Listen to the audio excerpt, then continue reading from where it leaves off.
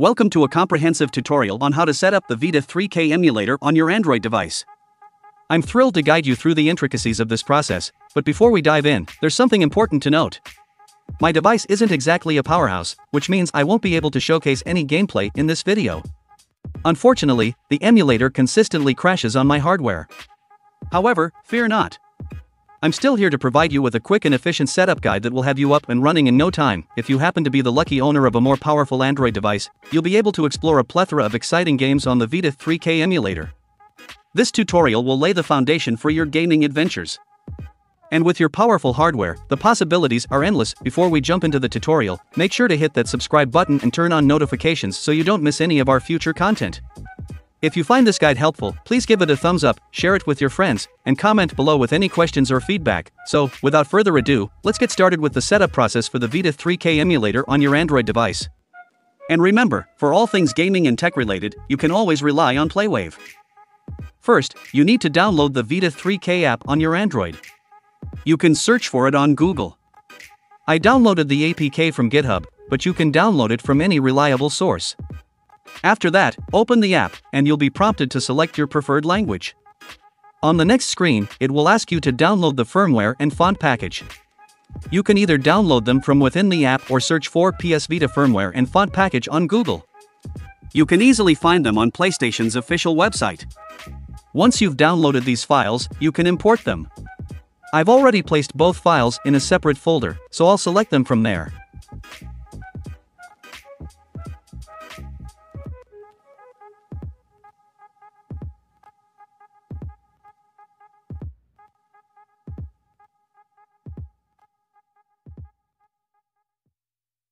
You'll notice that it went from showing installed X to installed V after importing the files. Next, import the font package file.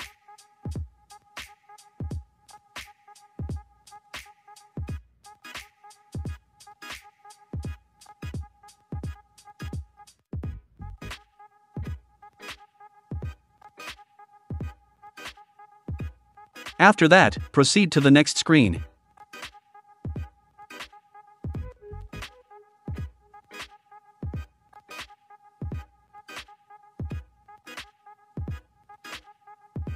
Scroll down and tap on Close. Now, you need to create a profile by giving it any name you prefer. Once your profile is set up, you'll be on the main screen. At the top right, you'll see a file option, and there, you can find Install Zip or VPK. It's essential to ensure that the game you want to install is in a zip file format. If you don't have a game downloaded yet, I can attempt to make a gameplay video in the next video. Please note that my device tends to crash during actual gameplay. And there you have it, folks. You've successfully set up the Vita 3K emulator on your Android device. While we couldn't demonstrate gameplay due to the limitations of my device, you're now ready to explore the world of PlayStation Vita games on your own terms. Remember, if you have a more powerful device, the possibilities are even more exciting. If you found this tutorial helpful, don't forget to hit that like button and subscribe to our channel, Playwave, for more tech tips, gaming guides, and emulator tutorials. Your support means the world to us, and it keeps us motivated to bring you the best content. Feel free to drop any questions or suggestions in the comments section below, and we'll do our best to assist you. Thanks for tuning in, and happy gaming with the Vita 3K emulator on your Android device.